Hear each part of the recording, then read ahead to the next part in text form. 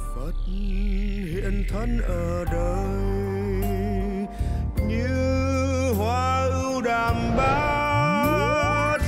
Vạn vật đều vô thường, lời dạy cuối đừng quên. Phật hiện thân ở đời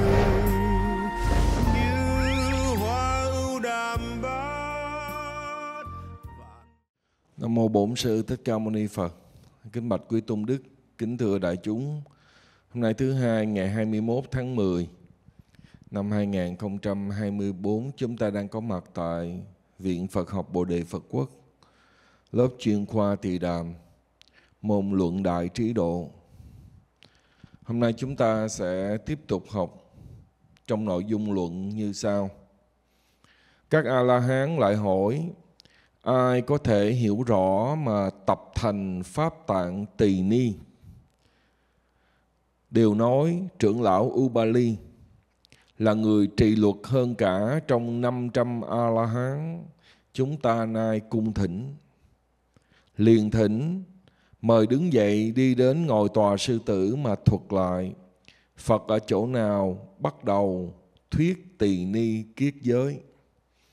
Ubali vâng lời tăng dạy, ngồi trên tòa sư tử và nói, như vậy tôi nghe một thời Phật ở tại thành Tỳ Xá Ly, bây giờ con của trưởng giả Tu Lân Na Ca Nan Đà bắt đầu làm chuyện dâm dục, do nhân duyên ấy Phật kết thành đại tội thứ nhất, 250 giới làm thành ba bộ, bảy pháp, tám pháp, tỳ kheo ni, tỳ ni, tăng nhất. Ubali vấn tạp bộ, thiện bộ. Như vậy 18 bộ làm thành tạng tỳ ni. Thưa với quý vị, chúng ta sẽ học về tôn giả Ubali được mệnh danh là trì luật đệ nhất. Giới luật cao siêu màu nhiệm, cơ duyên mai được thọ trì. Xin nguyện đi vào biển tuệ, tinh thông giáo nghĩa huyền vi. Trong kinh tiểu bộ, phần trưởng lão Tăng Kệ có nói một đoạn về tôn giả Ubali như sau. Trong thời Đức Phật hiện tại, Ngài được sanh trong gia đình một người cạo tóc tên là Ubali. Đến tuổi trưởng thành, Ngài xuất gia theo gương của Arunuda, Anuruddha, tức là Anậu Lâu Đà, và năm vị con cháu hoàng tộc khi Đức Phật ở tại rừng Anupiya, Ngài vâng theo bậc đạo sư khuyên tu thiền quán, sau đó Ngài đắc được thánh quả A-la-hán. Chúng ta biết rằng á, thời của Đức Phật có mấy giai cấp? Mấy? Bốn giai cấp.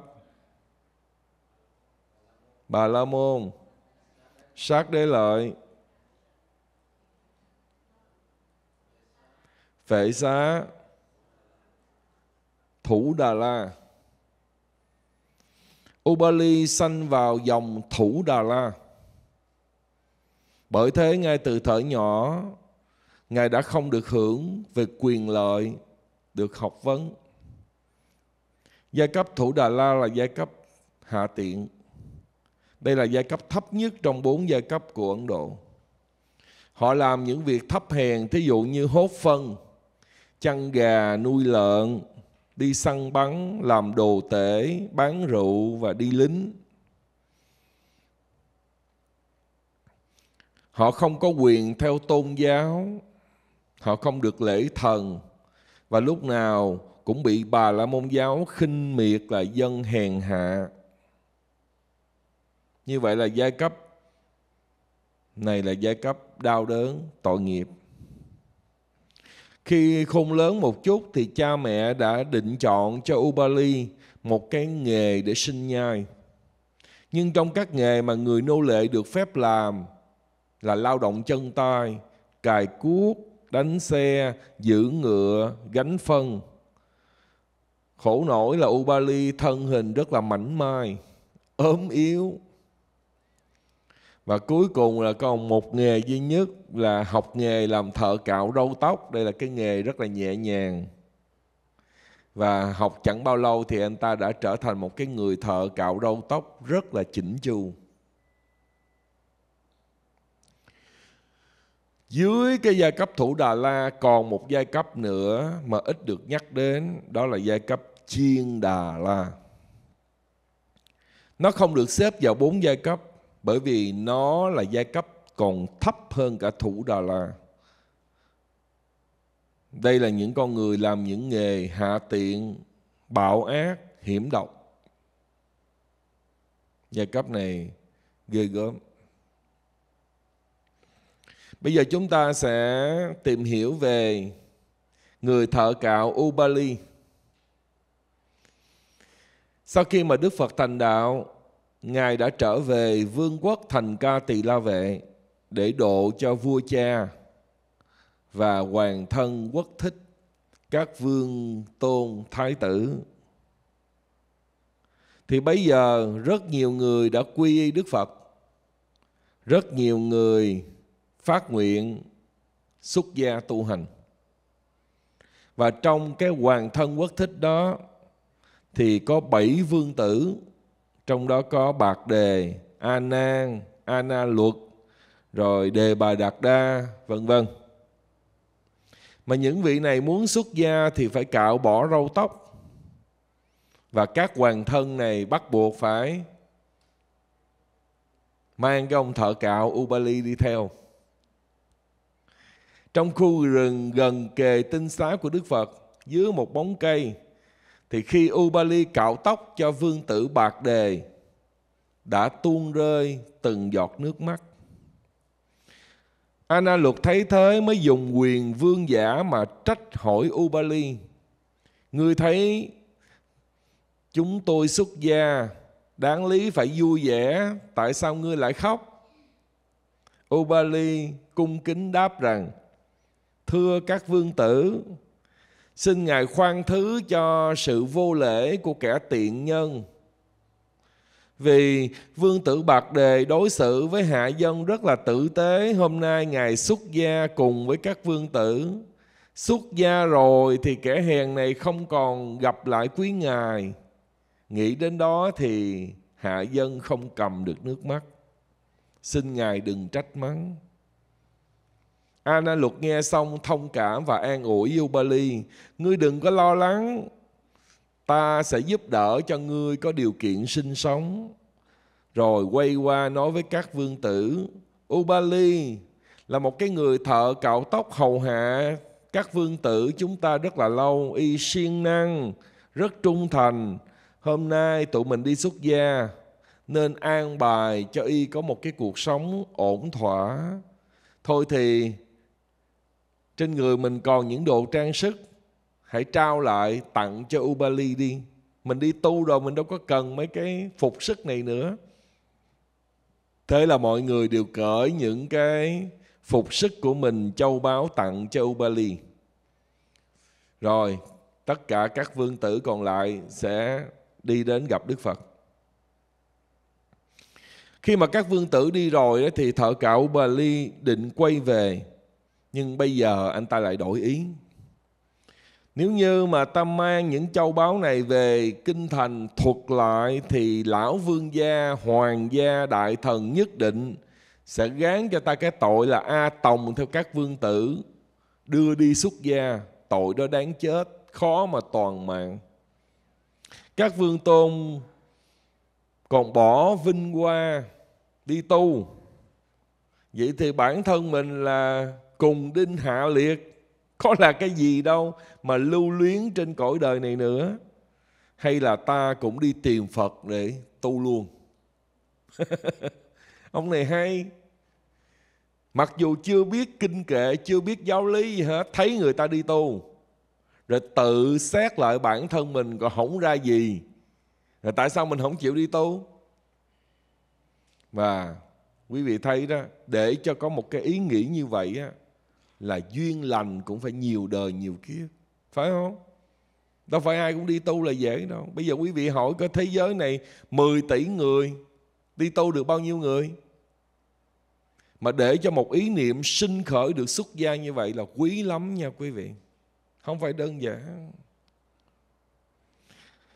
Lúc bây giờ, Ubali bèn quyết định không chút do dự đem bọc đồ trân quý treo lên cái nhánh cây để mặc ai đi ngang qua, hữu duyên lấy xài được thì xài. Bây giờ ta cũng chẳng cần tiếc về những cái đồ quý giá này nữa, ta muốn hướng phật thôi. Đi được một đổi, anh ta lại nghĩ đến cái thân phận hạ tiện của mình. Bắt đầu anh ta buồn khóc, anh ta tự nhủ, trời đất ơi, ta thì làm gì có tư cách để mà đi xuất gia? Các vị đó là vương tử thuộc dòng dõi, sát đế lợi. Còn ta là thuộc dạng thủ đà la nô bọc thì đâu có được xuất gia. Bởi vì khi mình xuất gia như vậy là mình vượt cấp không? Là lên tới giai cấp tăng lữ rồi, giai cấp bà la môn rồi. Thế là anh ta lại tự trách bản thân mình. Thế gian này không có công bằng. Số phận mình lại không không may mắn. Vừa buồn vừa khóc thì lúc bây giờ anh ta nghe bên tai có người hỏi, có chuyện gì mà anh khóc buồn thảm vậy? Ubali ngó lên và thấy một tôn giả hình nghi đỉnh đạt dung mạo khả quan. Đố quý vị, tôn giả đó là ai? Who? Rồi tôi trả lời luôn. Sariputta. Ubali có duyên gặp thầy Xá Lợi Phất và bây giờ anh ta chùi nước mắt và quỳ xuống thưa. Bạch tôn giả, hình như ngài là đệ tử của đức thế tôn phải không? Con nhớ là khi đức thế tôn về vương quốc thành ca tỳ la vệ, con có gặp ngài một lần rồi đó.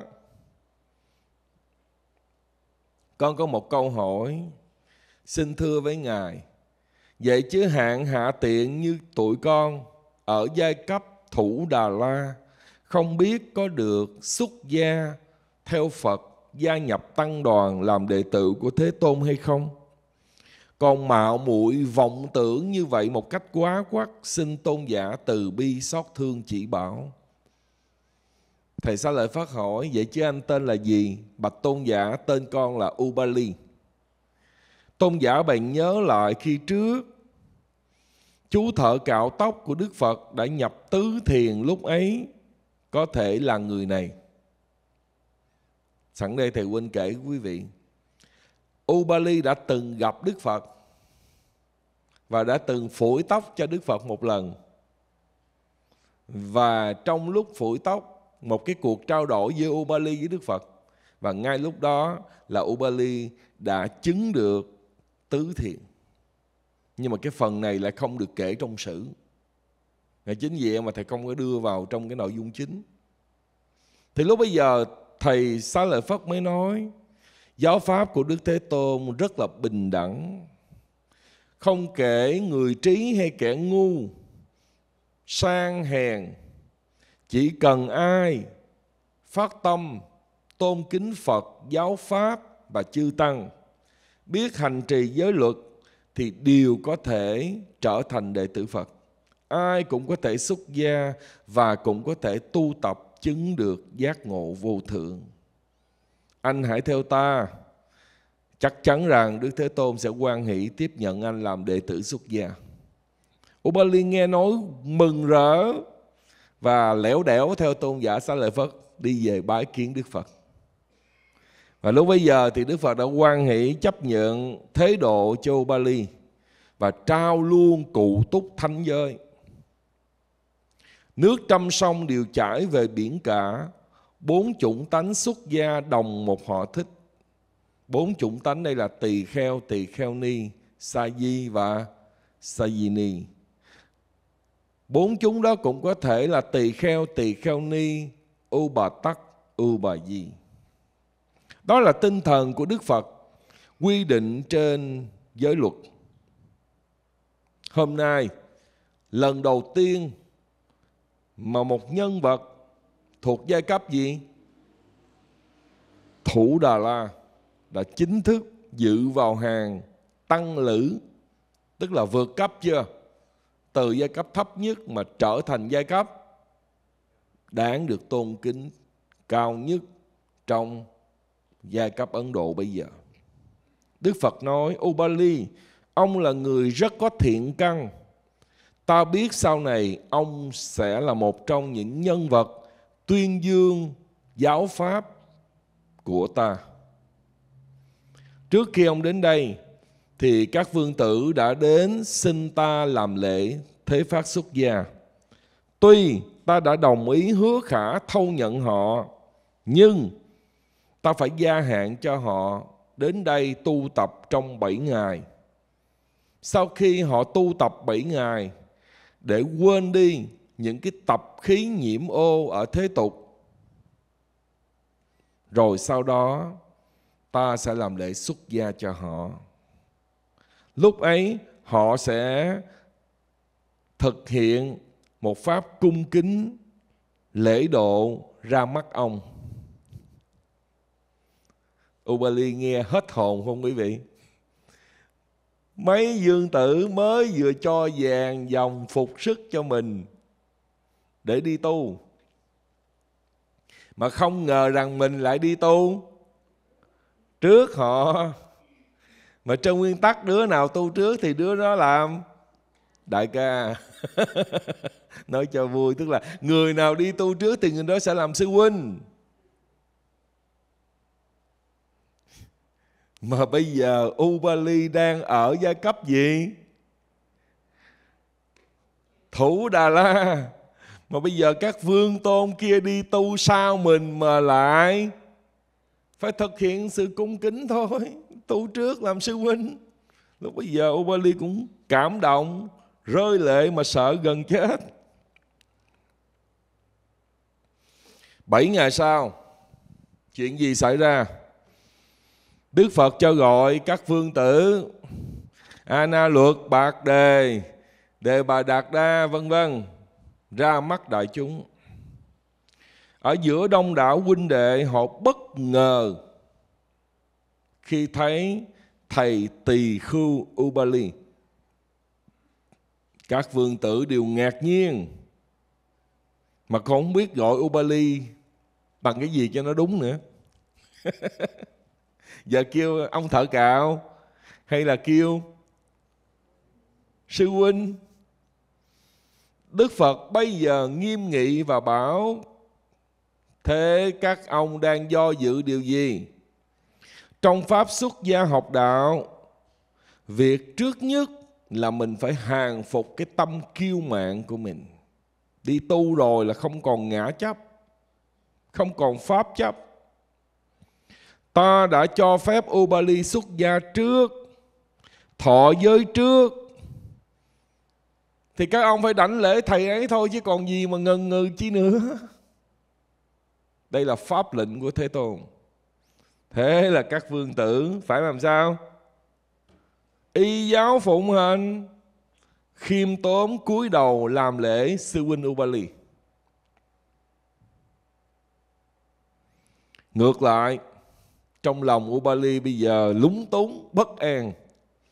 Phật bảo, ông cũng phải nên dùng cái lễ của huynh trưởng mà cư xử với lại đàn em của mình. Lúc bây giờ thì Ubali không còn e dè, rất là cảm động, đảnh lễ Đức Thế Tôn. Thế thì quý vị thấy đó một người bị xem là kẻ nô lệ hạ tiện, Đối với những người xuất gia sau là những vị vương tử mà vốn dĩ những vị này ngày xưa mình đã từng phụng sự, phục dịch. Nhưng trong Phật Pháp thì đối xử theo luật, ai thọ giới trước, ai xuất gia trước thì người đó là huynh trưởng thôi không có cái vụ mà ờ, tôi lớn tuổi đời tôi là ông này bà nọ vô chùa xuất gia sao thì vẫn gọi các vị đi trước mình là sư huynh sư tỷ chứ không có cái vụ mà quyền quy ở thế gian mà áp đặt trong quy chế của đạo Phật. Do đó khi mà mình nhìn một cái pháp hội tụng kinh ai thọ giới trước thì người đó sẽ ngồi trước. Gọi là theo thứ đệ hạ lạp tấn ban an tọa. Đây là cái câu mà thầy dẫn chương trình hay nói á. Vào giờ phút này, chúng con xin thành tâm cung thỉnh chư tôn tịnh đức, quan lâm đạo tràng và theo thứ đệ hạ lạp tấn ban an tọa. Theo thứ đệ hạ lạp tức là người nào? Hạ lớn thì ngồi trước hạ nhỏ là phải nhường cho các bậc trưởng thượng.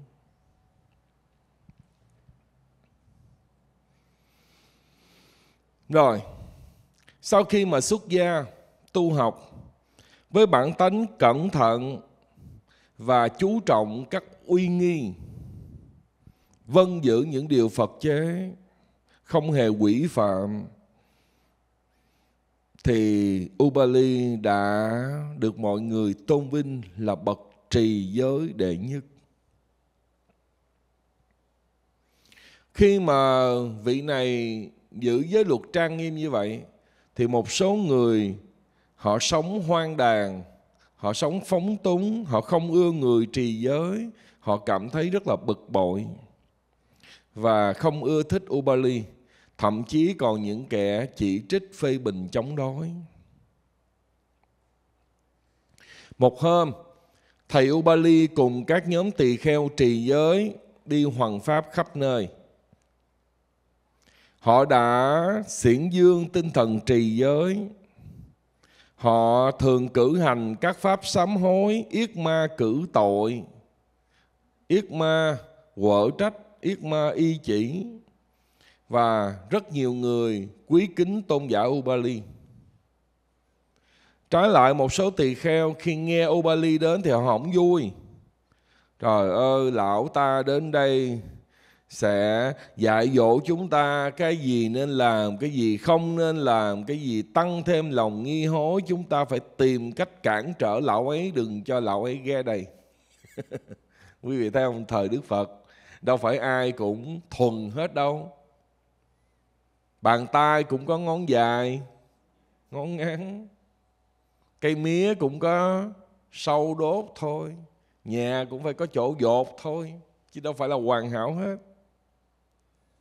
Chúng ta đừng cho lão ra đây. Nếu mà lão có đến thì chúng ta đóng cửa lại, đem tọ cụ treo ngoài cửa và đừng hỏi han gì lão. hãy lão vừa tới là mình sẽ bỏ đi nơi khác. Đây là tâm lý của những người không có thích thầy Ubali. Ubali vẫn thường gặp những tình cảnh như thế và trong lòng hối hận, không có muốn đi ra ngoài hoàng pháp thì Đức Phật lại bảo, cổ động cho tôn giả hãy hoàn tất công việc của mình. Một hôm có một vị tỳ kheo ni tên là Thâu La Nang Đà mắng tôn giả Ubali. Ông không phải là người chân tu, ông là người chuyên ưa gây sóng gió.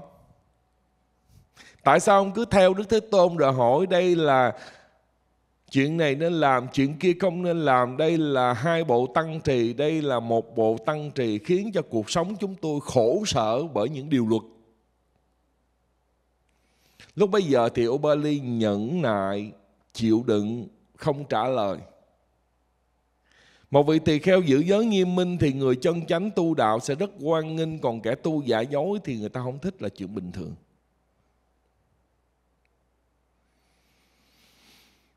Và có thể nói Đức Phật rất là theo dõi sát sao cái công trình hoàng pháp về giới luật của Ubali.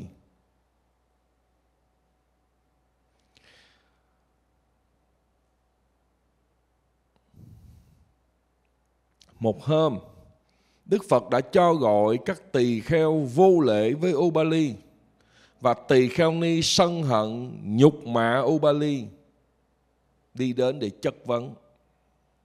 Đức Phật hỏi, các ông cự tuyệt Ubali tránh mặt không gặp và sân si ác khẩu chửi mắng Ubali tôn giả có thiệt như vậy chăng? Những người này đâu có dám nói dối với Đức Phật và thừa nhận, bạch Đức Thế Tôn, quả thật, chúng con đã có những cái tác ý vô lễ với tôn giả Ubali. Bây giờ Đức Phật nghiêm nghị quở trách. Các ông thật sự là ngu si. không cung kính tỳ kheo trì giới, thì còn ai cung kính hơn giới là thầy của các ông giới ở nơi nào, thì pháp ở nơi đó giới còn là pháp còn. Các ông không cung kính tỳ kheo trì giới thì chứng tỏ là các ông là những hạng không ra gì, có ý đồ phi pháp trong giáo đoàn của ta. Quý vị thấy không? Vì ủng hộ châu Bali mà Đức Thế Tôn đã quở trách các tỳ kheo như thế nào? Lời nói quở trách đó nặng nề không? Nặng nề để mục đích cho quý vị thấy được cái vị trí của cái người trì luật trì giới trọng yếu đến cỡ nào và điều đó đã khẳng định trong kinh Di giáo những lời dạy cuối cùng khi Đức Phật chậm niết bàn. Sau khi Như Lai Thế Tôn viên tịch, các thầy hãy tôn trọng tôn trọng cái gì? Chánh pháp và giới luật làm thầy. Và thầy đã phân tích cho quý vị thấy rõ là ngay cả khi Đức Phật còn tại thế thì Ngài cũng đã trọng kính giới luật nó lớn đến dường nào.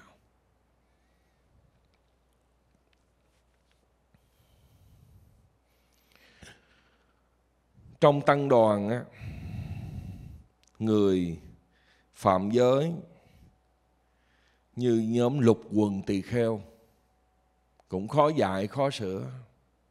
Đức phật vẫn chấp nhận, vẫn chưa mặc tẩn. Bởi vì có thể đó là những cái bồ tát nghịch hạnh. Họ thể hiện như vậy để đức phật chế định ra những quy luật sau này giúp cho hàng ni bộ, tăng bộ được trang nghiêm. Nếu không có các vị tỳ kheo phạm luật, thì đức phật đâu có chế giới như vậy là 250 giới của tỳ kheo tăng và 348 giới của tỳ kheo ni là đều có những người phạm giới thì Đức Phật mới chế giới. Mỗi khi nào ở đâu mà tỳ kheo tỳ kheo ni khởi sự tranh cãi, thì Đức Phật lại thỉnh cử một vị thượng tọa đến để giải hòa phân xử. Thấy tội nghiệp Đức Phật không? Phật đâu có yên đâu. Trời đất ơi. Giờ quý vị cộng sơ sơ hai cái bộ tăng ni đó bao nhiêu giới là xử biết bao nhiêu vụ. Mà có những vụ thì Đức Phật trực tiếp xử, còn có những vụ thì sao? Xử xong thì Phật chế định giới, mà cái người đi đến xử, hòa giải thì là một vị tôn giả. Và khổ cho tôn giả Ubali chuyện gì xử Đức Phật cũng kêu ai? Này Ubali, nơi đó có sự tranh cãi. Nơi đó gây lộn ở nước câu diệm di, ở nước sa kỳ. Ubali, ông hãy là sứ giả hòa bình. Như nắng xuân ôn hòa chiếu đến nơi nào thì khối băng giá ngưng động đều tự nhiên tan chảy. Thế là tôn giả Ubali, rồi tối ngày cứ đi hòa giải, xử những vụ tranh chấp.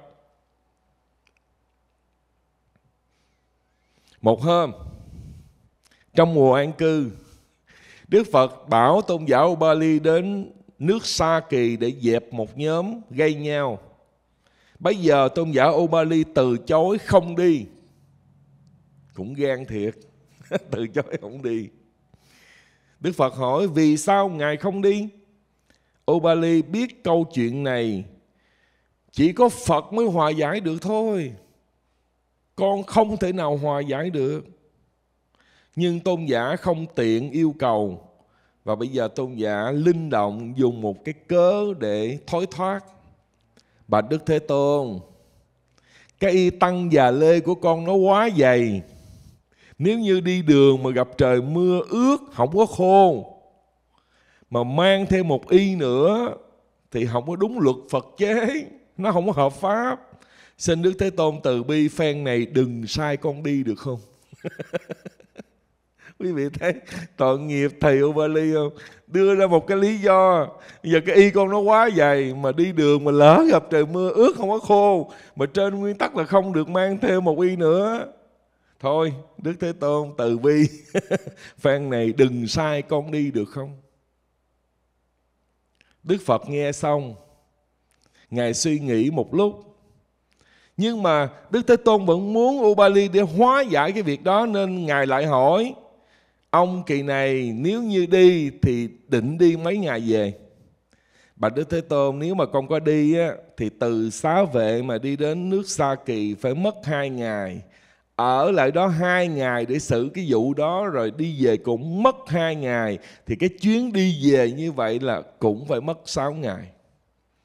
Bây giờ Đức Phật mỉm cười và nói, Từ rài về sau, Trong mùa an cư, tỳ kheo sẽ được phép giữ trong người hai cái y và được phép trong vòng 6 ngày giữ hai cái y đó.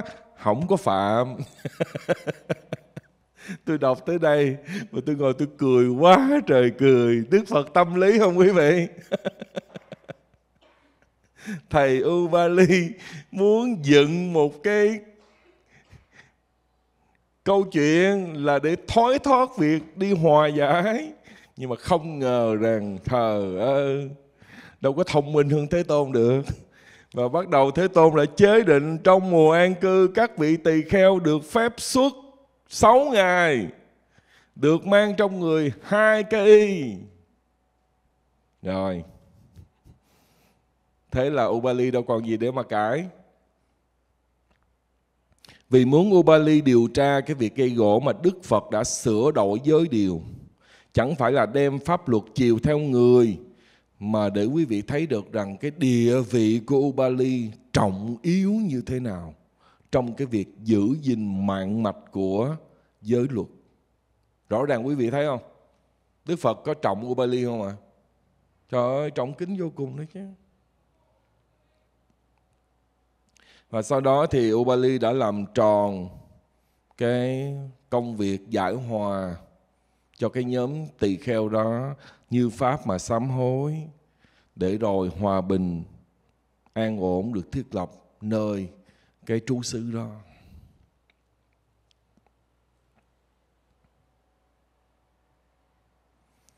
Tôn giáo Bali được mệnh danh là trì giới đệ nhất. Mà quý vị biết á, trong chủng tộc của Sakya, tức là tộc họ Thích Ca ở Vương Thành Ca Tỳ La Vệ, toàn quốc đã có một cái luật định nếu là người phụ nữ dòng họ Thích thì không được kết hôn với người khác ngoài họ Thích. Nhớ nha, đây là điều luật của tộc họ Thích Ca ai mà bất tuân sẽ bị trị tội.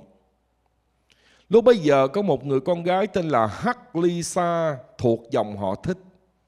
Đang tuổi thanh xuân, trong lúc mặt hoa dáng nguyệt tròn đầy, lại bất hạnh là chồng mình lại chết sớm.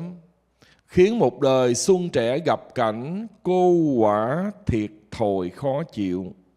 Ít lâu sau, có một cái chàng thanh niên thuộc họ khác đến cầu hôn và Haksali đã thuận lòng ưng chịu. Nhưng gặp em chồng cản trở muốn chiếm chị dâu làm vợ mình.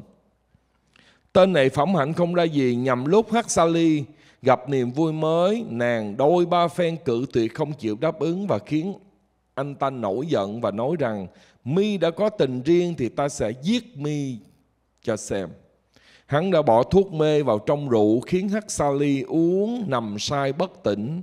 Hắn đã đánh đập cô thương tích cùng mình và lên quan báo cáo. Cô này là vợ tôi, tư thông với người khác họ.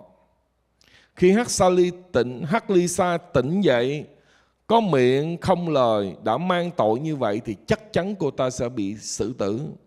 Cô ta bèn thừa dịp người khác hơ hỏng và chạy trốn đến thành xá vệ và may mắn theo giáo đoàn tỳ kheo ni. Thế là cô ta xuất gia luôn. Quan quân thành ca tỳ la vệ đã truy nã cô gái khắp nơi và không thấy tung tích cô này đi đâu. Và tình báo cho biết rằng Hắc Ly Sa đã đào tẩu ở nước xá vệ. Họ bèn tức tốc biên thư cho quốc chủ là đức vua Ba Tư Nặc. Nước chúng tôi có một nữ tội phạm đã mang tội quốc pháp, tức là đã lấy cái người ngoài tộc họ. Tội này là xử tử. Nghe tin cô ta đang đào tẩu ở quý quốc. Chúng tôi mong rằng quý quốc hãy trao trả nữ tội phạm ấy lại cho chúng tôi. Sau này nếu như tội phạm của quý quốc có trốn sang nước chúng tôi thì chúng tôi sẽ giao lại cho quý quốc xử lý. Bây giờ quốc chủ tức là Đức vua Ba Tư Nặc xem xong cái bức thư và hỏi các quan. Thế có thiệt là Hắc Ly Sa có trốn đến nước ta chăng? Thì các quan mới thưa khởi bẩm đại dương, Hắc Ly Sa quả thật đang trốn tại nước mình. Và cô ấy đã theo các tỳ kheo ni xuất gia đi tu rồi. Đại vương đã ban lệnh từ trước, Ai mà phạm đến các tỳ kheo tỳ kheo ni sẽ bị tội nặng. Khổ đời là cái ông Ba Tư Nặc này, Ông đệ tử ông Phật. Tất cả những người nào có phạm tội gì đi chăng nữa, Nhưng mà đã là chúng xuất gia của Đức Phật rồi thì sao? Kim bài miễn tử. Miễn xử tội, Không đụng tới. Chúng xuất gia đệ tử của Đức Phật. Đại dương đã ban lệnh từ trước đến nay, Nếu ai phạm đến các tỳ kheo tỳ kheo ni, Thì sẽ bị tội nặng. Đâu ai dám đụng tới. Và hiện tại cô ta đã xuất gia Thì đâu có làm gì được. Xin thỉnh ý đại dương. Thì bây giờ vua Ba Tư Nặc suy nghĩ Rồi biên thư phúc đáp. Hắc ly sa, quả thật có trốn ở nước tôi. Nhưng hiện nay cô ấy đã xuất gia, Không thể truy tội. Nếu như việc khác, Thì sẽ thành toàn cho quý quốc. Còn việc này là không thể truy tội. Vua quan của dòng Thích Ca nhận thư hồi âm đó đều bừng bừng tức giận. Và có một nữ tội nhân mà không trừng trị được thì quốc pháp còn để ở đâu? Một nữ phạm nhân xuất gia khiến cho hai nước gây hiềm khích. Tôn giả Ubali bây giờ biết được việc ấy thưa với Đức Phật. Bạch Đức Thế Tôn, người đã phạm quốc pháp chúng ta có thể thâu nạp cho xuất gia không? Thầy tâm hiếu, Answer my question. Người đã phạm quốc pháp Thì chúng ta có thể thâu nạp cho xuất gia không? Này Ubali, Quốc pháp hợp lý hay không hợp lý, Đó là việc của chánh phủ và dân chúng. Nếu như đã phạm tội, Khi chưa được tuyên bố ân xá, Thì tăng đoàn không được làm phép xuất gia cho người đó. Đây là lệnh của Phật. Vị tỳ kheo ni thâu nhận hắc ly sa đã bị Đức Thế Tôn quở trách. Điều đó không phải là Phật thiếu lòng từ, không cứu tội nhân. Nhưng tăng đoàn thanh tịnh phạm giới luật thì sẽ bị diệt tận. Còn người phạm phép nước thì chắc chắn phải chịu luật vua xử trị. Phật Pháp không thể che chở cho tội nhân vì muốn kiện toàn tăng đoàn để cho giới pháp không xúc phạm quốc pháp và tôn giáo Bali bắt buộc phải thưa chuyện này với Đức Phật.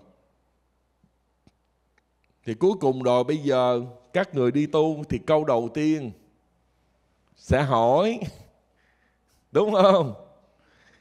Các ông có được cha mẹ đồng ý cho phép đi tu không? Mô Phật, có có đồng ý mới cho đi tu được. Các vị có pháp bị pháp luật vua gia hình hay không? Thì trả lời là không. Trả lời là có, là khỏi đi tu luôn đó con. Các vị có trốn nợ nần mà đi tu hay không? Đâu có trốn nợ mà đi tu. Mà nếu mà có trốn nợ đi tu là không nhận mấy công chủ nợ đến chùa đòi sao? Các vị có bị thất tình mà đi tu không? Lan và điệp bỏ qua bên. Đúng không? Do đó là chúng ta phải cảm ơn thầy Ubali bởi vì nhờ thầy Ubali mà những cái thể thức pháp luật nó đã được hiển bài Chuyện này mới là lý thú nè. Bạch Đức Thế Tôn, Ubali mới thưa, tỳ kheo và tỳ kheo ni có thể làm mai mối cho người nam và người nữ đến với nhau hay không? Đức Phật trả lời, này Ubali, nếu tỳ kheo tỳ kheo ni tâm tình với người nam ngọ ý với người nữ, đem ý người nữ nói với người nam, cho đến giới thiệu giao hội một lần sẽ phạm tăng và bà thi sa cần phải sám hối. Vậy thì Bạch Đức Thế Tôn, các tỳ kheo tỳ kheo ni trong tăng đoàn, đối với việc hôn lễ của tín đồ tại gia, phải có thái độ như thế nào cho nó đúng đắn. Đức Phật trả lời, không nên lưu tâm lắm. Nếu là hợp pháp, thì có thể đối trước Tam Bảo làm lễ chứng minh cho họ. Do đó, có người đặt câu hỏi với thầy là lễ hằng thuận thì chư tăng mình chỉ làm lễ ở góc độ gì? Chứng minh chứ không phải là ông Mai bà Mai. Khác nhau nha. Tức là họ đã đến với nhau hôn nhân một cách hợp pháp, có cha mẹ hai bên đồng ý đúng với pháp luật. Nhưng vì họ muốn cái cuộc sống của họ dài lâu, phù hợp với lại chánh nghiệp, phù hợp với chánh mạng và họ cần có một cái con đường đạo đức tâm linh.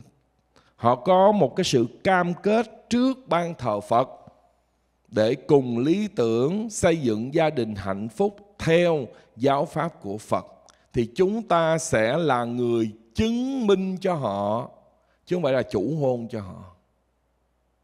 Phải không? Còn các tôn giáo khác thì bắt buộc cái vị chủ tế phải là họ có một cái cụm từ là bí tích hôn phối.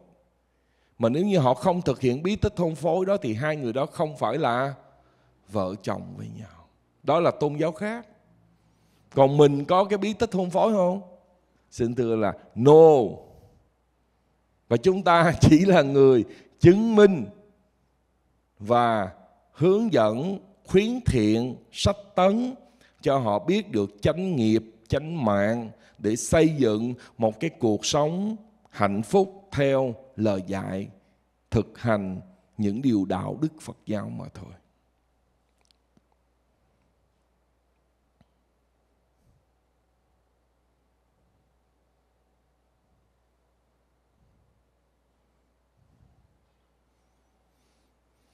Vậy thì ngày hôm nay, một lần nữa, khi mà chúng ta học lại tôn giả Ubali để chúng ta sẽ cảm thấy rằng trong mối quan hệ thầy trò, hướng dẫn, duy trì mạng mạch Phật pháp, tỳ ni tạng trụ, Phật pháp cũ trụ. Sự thọ mạng của Phật pháp dài lâu, nó gắn liền với lại sự thọ mạng của hành trì giới luật dưới bất kỳ hình thức nào pháp và luật của thế tôn. Đều đi đôi với nhau đều thực tập đều hành trì. Và việc mà kiết tập kinh điển, lần thứ nhất, trong đó, kinh là thỉnh thầy a nan luật là thỉnh thầy ubali. Vì sao? Vì cả cuộc đời của tôn giả Ubali với những điều luật mà Đức Phật định chế đều có sự hiện diện, đều có sự dùng từ kiểm định thì nó hơi kỳ, tức là có sự chứng nhận của tôn giả Ubali. Và chính tôn giả là người hiểu về các điều luật đó, nguyên nhân Phật chế hơn ai hết. Và đại chúng đã cung thỉnh. Chúng ta biết rằng á đại hội kiết tập kinh điển lần thứ nhất tôn giả Ubali bây giờ tuổi đã gần 70 lúc bây giờ, thầy đại ca diếp làm chủ tọa a nan kiết tập kinh, Ubali kiết tập luật khi đại chúng cung thỉnh, thì lần đầu thì tôn giả đã khiêm tốn từ chối Tôi không dám đảm nhận cái trách nhiệm lớn lao kiết tập luật tạng. Xin mời các trưởng lão khác. Tôn giả Đại Ca Diếp mới nói với Ubali. Này Ubali, Ngài đừng khách sáo. Tuy hôm nay ngồi tại đây có 500 người đều là các vị tỳ kheo trưởng thượng, nhưng ngay từ ban đầu, Thế Tôn đã thọ ký cho tôn giả. Ngoại trừ Đức Phật ra, trong tăng đoàn, Ngài được tôn kính là người trì giới đệ nhất. Tạng luật hiện tại, chỉ do một mình tôn giả tụng là đầy đủ nhất mà thôi. Vì cái lời của tôn giả, Đại ca diếp như vậy, Ubali, y giáo phụng hành Khi tôn giả lên tòa, Ngài đã nói thao thao bất tuyệt, Giới này Đức Phật chế tại đâu Nói với người nào Nguyên nhân gì mà chế giới Phạm giới ấy có tội Sám hối ra làm sao Tất cả các vị trưởng lão tham gia cuộc kiết tập đều ghi nhớ tỉ mỉ và khâm phục. Do đó, mặc dù hơn 26 thế kỷ qua có thể mai một về thời gian, nhưng trọng giới dành cho các hàng xuất sĩ, tỳ kheo, tỳ kheo ni đều vẫn tuân giữ, không ai được phép chế thêm một giới nào. Tức là nó đã nguyên bản từ thời Đức Phật cho tới bây giờ. Bởi vì chúng ta nhớ giới chỉ có Phật mới đủ tư cách thẩm quyền chế giới. Ngoài ra không ai được phép chế giới. Đức Phật quy định người cư sĩ tại gia giữ năm giới, phải không? Sau này ai ra chế thêm giới thứ sáu nữa thì quý vị nghĩ rằng giới đó là của ai? Của ma hay của Phật. Bởi vì túc số của Phật là mấy? Number five. Mà sau này mình lỡ mà nghe người cư sĩ phải giữ sáu giới thì cái đó không phải là là Phật chơi. Cũng vậy, cái gì mà liên quan tới giới luật thì chắc chắn là chỉ có Đức Phật mới là người chủ sự cho việc chế định giới pháp mà thôi. Vậy thì các vị cư sĩ tại gia có thể giữ năm giới, có thể giữ bát quan trai giới, và có thể giữ thập thiện giới, và có thể giữ Bồ Tát giới tại gia. Ngày hôm qua thầy có nhận được một câu hỏi là bạch thầy, vậy thì người thọ giới Bồ Tát có được ăn mặn hay không hay là bắt buộc phải ăn chay trường?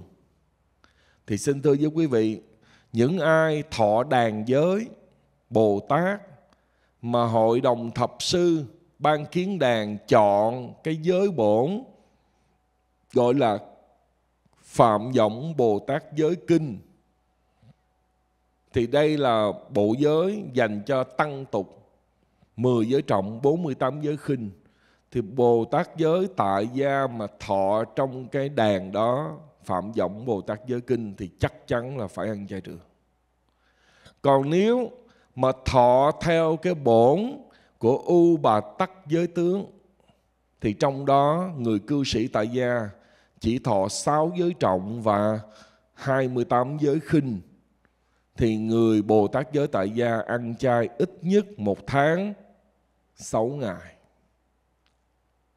Như vậy họ cũng không phải bị ép buộc ăn chay trường. Rồi, thầy trả lời luôn cho quý vị ha. Như vậy là có những vị Bồ Tát giới tại gia mà họ thọ theo cái bản của U Bà Tát giới tướng á, thì sáu giới trọng và 28 giới khinh thì họ không cần phải ăn chay trường. Còn nếu họ thọ Bồ Tát giới trong cái phạm vọng Bồ Tát giới kinh là 10 giới trọng và 48 giới khinh thì bắt buộc họ phải ăn chay trường. Rồi, thôi chúng ta khép lại tại đây. Hôm nay thầy có công việc phải nghỉ sớm. Phật hiện thân ở đời như hoa ưu đàm bát vạn vật đều vô thường lời dạy cuối đừng quên Phật hiện thân ở đời.